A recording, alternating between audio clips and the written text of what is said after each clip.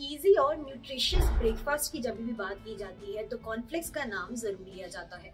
मैंने भी कॉर्नफ्लेक्स बहुत खाया है। स्कूल जाने से पहले एक हेल्दी ब्रेकफास्ट के तौर पर मेरे पापा मुझे खिलाते थे।